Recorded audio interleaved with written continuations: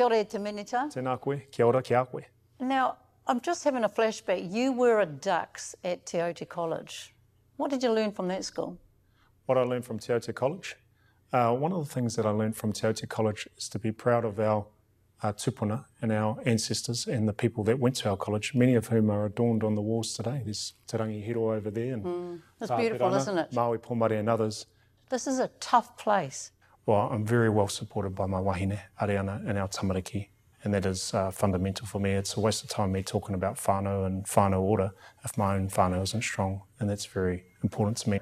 I'm very privileged to be here, not only through the support of the hardworking people of Hamilton West, but also my aunties and uncles from places like Rata and Raitahi and Akitio and Ōpunake Do they get in your ear?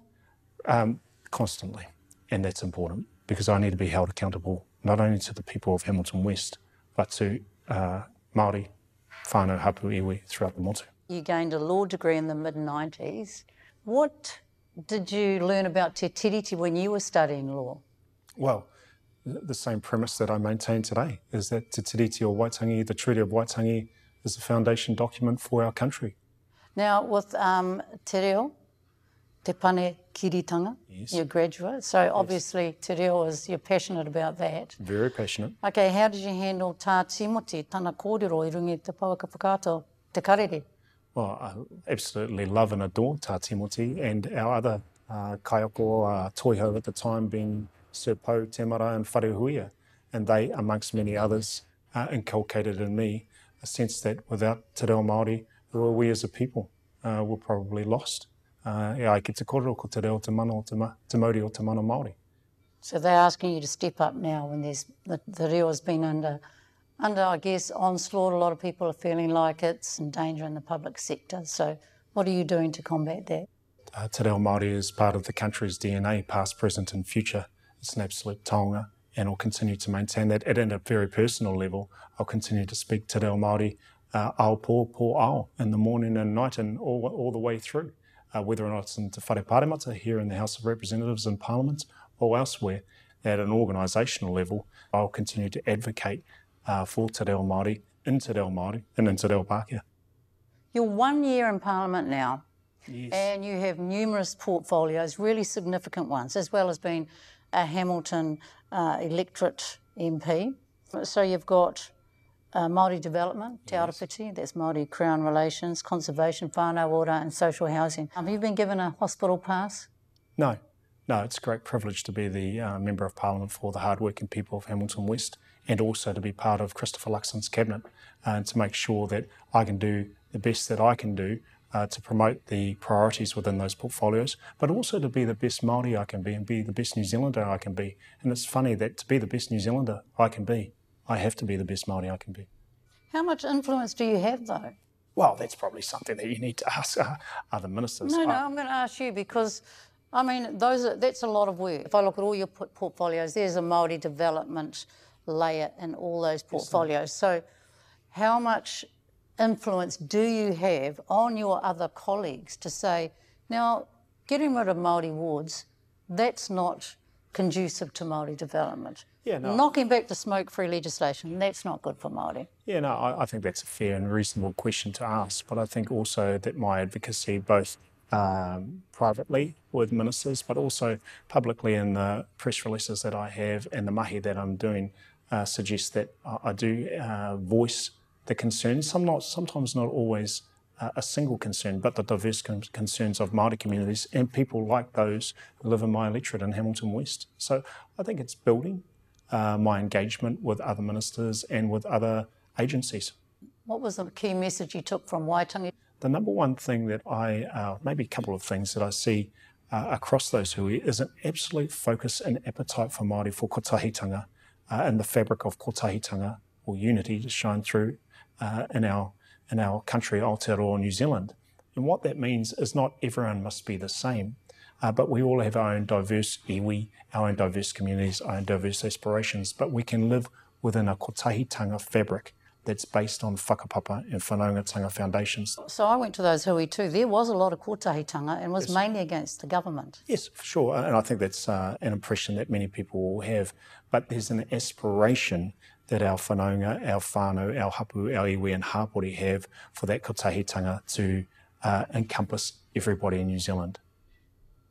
Yeah, I'm still trying to understand your point there because one of the big issues, of course, is the Treaty Principles Bill that's been championed by ACT. You were appointed a treaty um, settlement negotiator, so you know about the treaty. So do you end up having debates with David Seymour and saying, no, hang on, what you're attempting to do here is to redefine the principles and therefore redefine the treaty?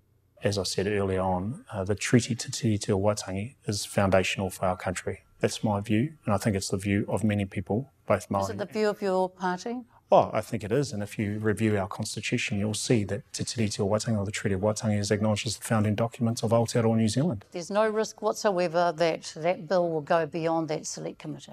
No, what, what I would say is that our Prime Minister has made several statements over the last couple of months uh, that a referendum would be very unhelpful, that we are supportive as the National Party for the bill to be drafted by uh, the ACT Party to be taken through to first reading in the Select Committee. Given your background and all you know, would that be a bottom line for you? I'm very uh, clear on my views on the place and space of Te Tiriti o Waitangi and the Treaty of Waitangi in our society, past, present, and future. And I'm willing to have a very reasoned and uh, professional debate about that. I think people want to see a bit of mongrel.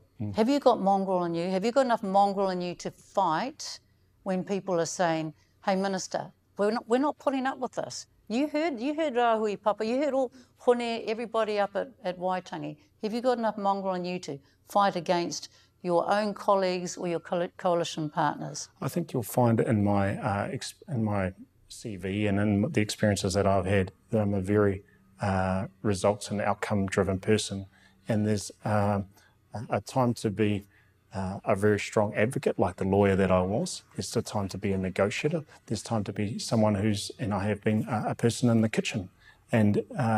In terms of that debate around the treaty and a number of other debates, then I have to be um, very mindful that we work in a coalition agreement and be very, very respectful of those uh, those uh, commitments in those agreements.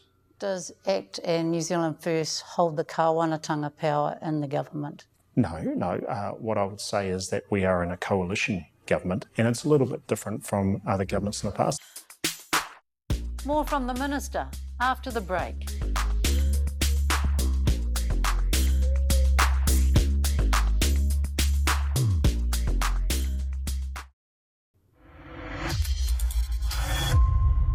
Māori are feeling under attack on so many fronts. Now we've had the Treaty of Waitangi Principles Bill, the Māori wards, Oranga Tamariki changes, ditching Te Aka Whai, all of the Smoke Free Act, talk of reopening drilling and mining. How is all that consistent with Māori development? So there are a number of outstanding settlements, including own people in Mokai Pātea, but also Ngāpuhi and some other uh, areas around the country. Those matters are outstanding and they need to be resolved. And I tautoko Minister Goldsmith uh, to uh, demonstrate the leadership that he has in order to negotiate and finalise some of those uh, settlement um, settlement outcomes. On the other side, we've got a lot of inequalities of opportunity and disproportionate stats that we often refer to, closing the gaps, uh, deficit uh, deficits that many of our whānau are, uh, are, are suffering or going through, particularly in education, health, and housing.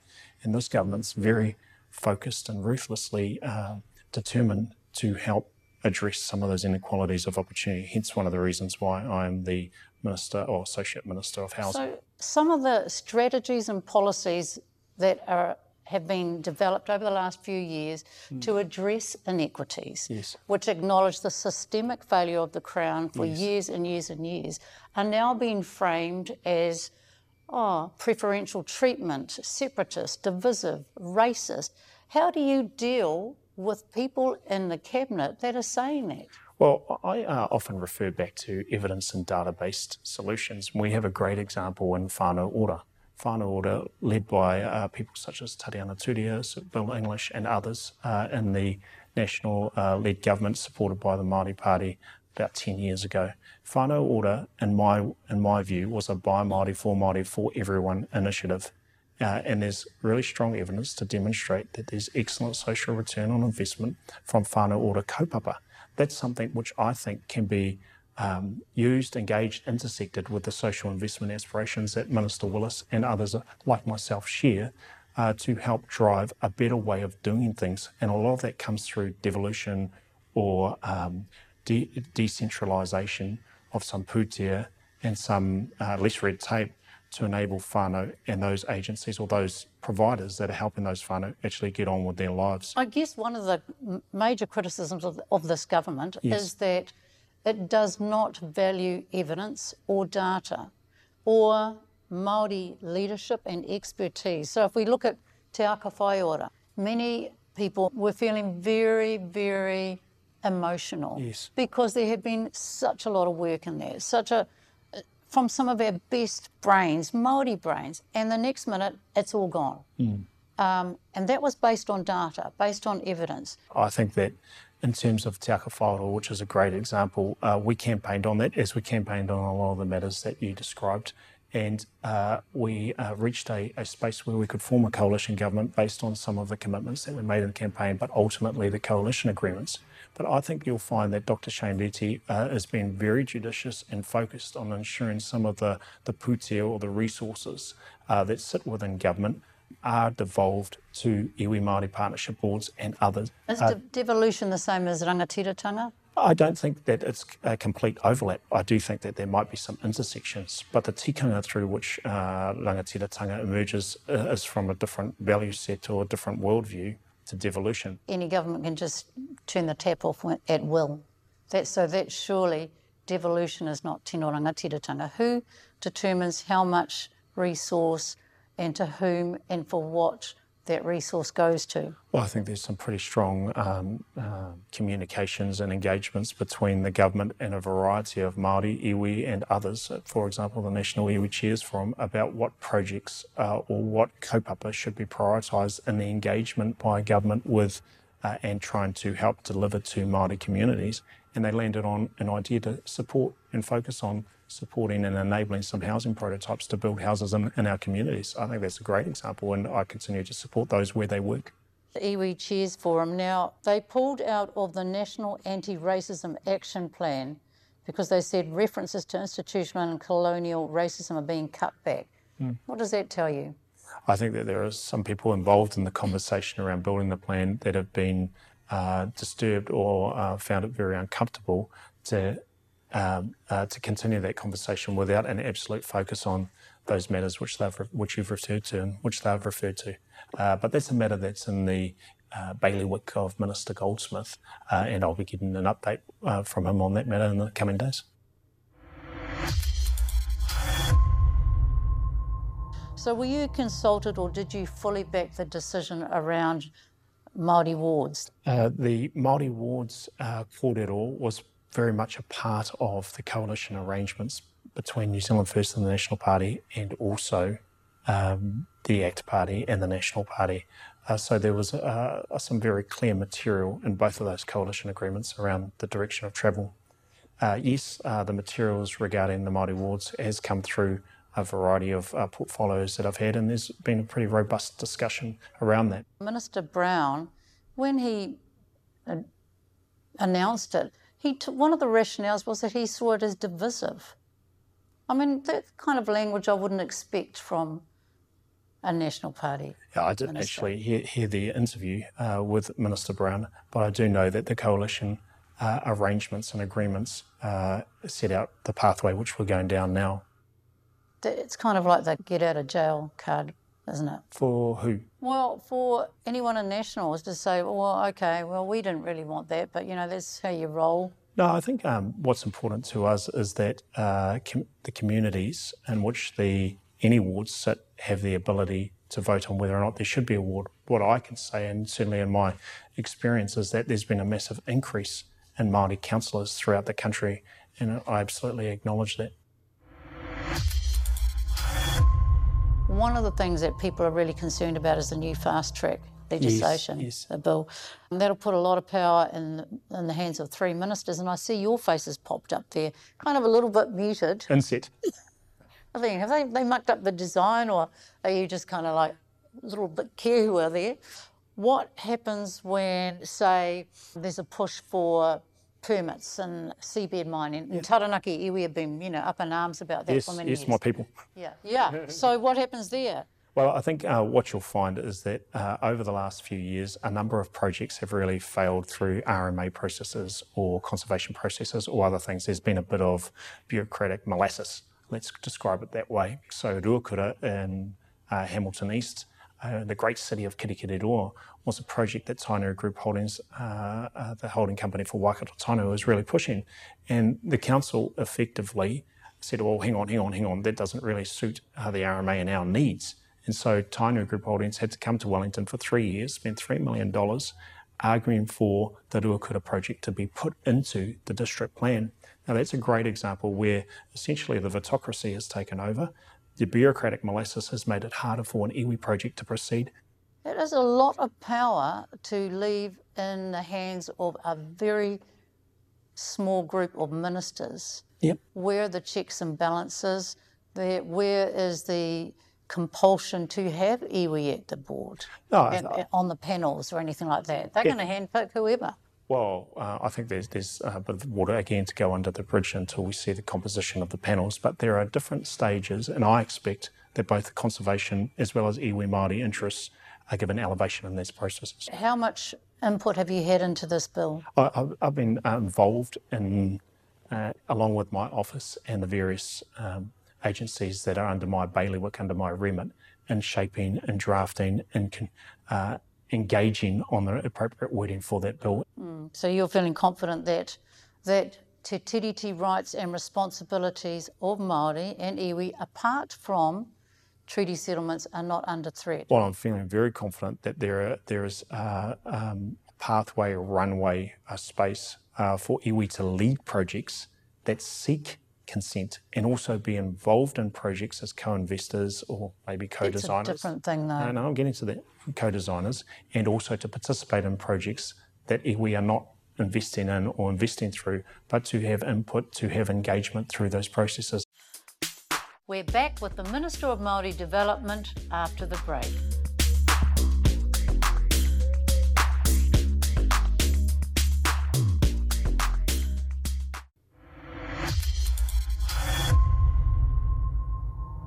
Beneficiary groups are saying that the cumulative impact of government policy is really having a negative impact, and there's cutting of public transport subsidies and the charging the benefit indexation, so benefits will end up lower, holding down the minimum wage.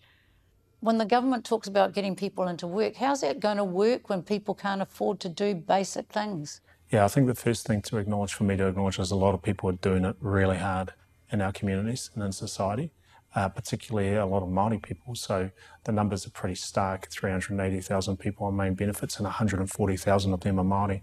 So the, the, the level of deprivation, those are the ones that are on the benefits. There's also some that aren't, but are doing it really hard. And I really worry for those communities, many of, uh, many of whom live in places like Hamilton West, but also Northland when we went up to Waitangi earlier on this year and we saw people living in vans and in cars out at um, out towards the Hokianga Harbour. So I think there is a bit of work that we need to do, and we also need to do um, and invest in uh, projects like um, uh, the the, the mahi at around redeveloping farms and mussel farms and aquaculture and other things so we can create the employment. It was suggested that your target was to reduce 75% of people in emergency housing. Now, how are you going to do that?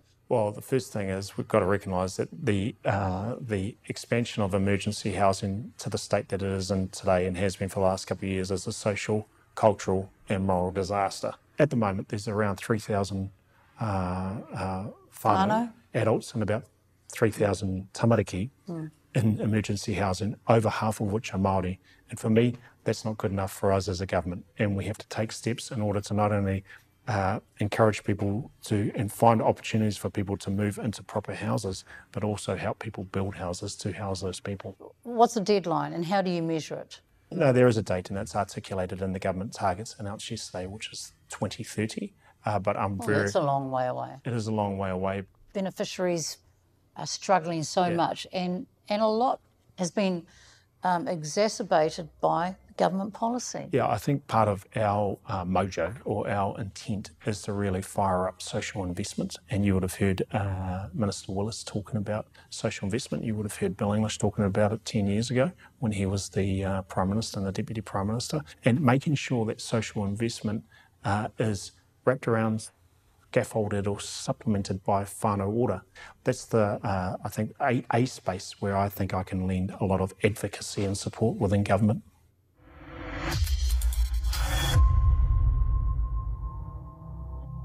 There's talk of reviewing the history curriculum, okay. which, um, you know, there's been a lot of awesome people that have spent a lot of time and energy in creating it, a lot of expertise, a lot of Māori leadership there, and even outreach to students.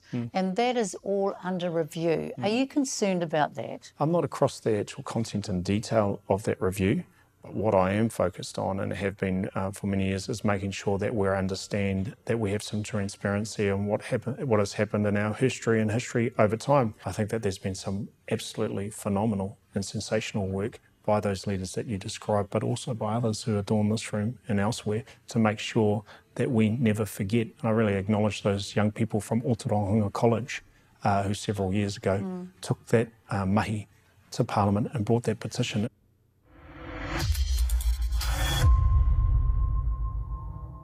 Do you believe Māori ceded tino rangatiratanga? No, we never it tino Yeah. rangatiratanga. That's why it's preserved up in Article 2, or for Te Tuarua, of the Treaty of Waitangi. And I know there's a lot of other documents as well that reinforce that sense of um, tino rangatiratanga and also the movement that we talk about being mana motuhake. How relevant is Te Tiriti now in 2024 when we are dealing with public sectors, when we're dealing with health, with justice, with education?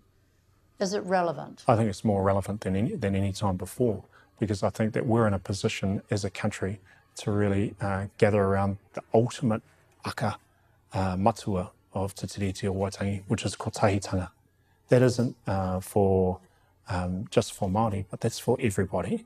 Uh, but ultimately, Māori are fundamental, Te Tiriti are fundamental to Aotearoa New Te Rene, uh, is, was and will be. I know you've only been in here for five minutes, but when you when your kids, you know, come here for your valedictory speech, what do you want to say to them? I've tried to be the best Māori I can be and the best New Zealander I can be. And I can only be the best New Zealander I can be if I'm the best Māori I can be. And what does being Māori in this place look like? Is making sure that our, our identity is not only preserved, but it, it also evolves over time and that we are um, uh, uh, acknowledged or we are um, set as a fundamental part of the country's future. How do you fight for that? well, I think people feel traumatized and people feel feel vulnerable, and that for me is a message that I must be um, uh, uh, more, um, more a more strong advocate and uh, uh, contributor to Māori success. It's been two years since we had our one and only conversation with the Prime Minister. Oh, right. Do you think you could put a word in for us with your boss? I've explored it all with his team. Thank you, Minister. Kia ora. Thanks for speaking with me. Mauri ora, kia koe, kia tātou. Tama Pōtaka. What a big job. Now, just before we go, a recent AUT survey measured people's trust in the media and it came out last week. It showed trust is at an all time low, revealed many people are consciously avoiding the news because they find it so overwhelmingly negative and depressing. I get that. Furthermore, they see the news as biased. I get that too, perhaps for different reasons. For generations, our mainstream media has been shaping public opinion about Māori and often doing a damaging, ill informed, and unprofessional job of it. In the last few years, however, there's been an awakening, matched by a small but passionate Māori news media. This month, I'll be attending the graduation ceremony of Te Rito Journalism Cadets, mentored by Whakaata Māori and mainstream media platforms. It feels like we've only just got our groove on. Only now the wheels are falling off. Maybe it started when Trump and alternative facts hit our screens. It amped up during the pandemic and fired up in the lead up to our election. Misinformation, disinformation, and downright lies openly peddled on social media. It's now a global problem. Yes, we're in a digital age. Anyone, anywhere, anytime can now broadcast their reckons directly to their fans, politicians included. Which is why, more than ever, we need fair, balanced, and accurate journalism we can trust, holding the powerful to account while also being accountable themselves. We need professionals to tackle leaders, investigate corruption, reveal the truth, dig deeper, educate, inform, tell stories, celebrate, help connect the dots between community and the corridors of power. It's costly, time consuming, and intense, but that's how it is. At the end of last year, the crack Stuff Circuit investigative team was disbanded. Last week, it was confirmed that around 350 jobs across the news media, including Newshub, TVNZ Sunday, and Fair Go, were gone.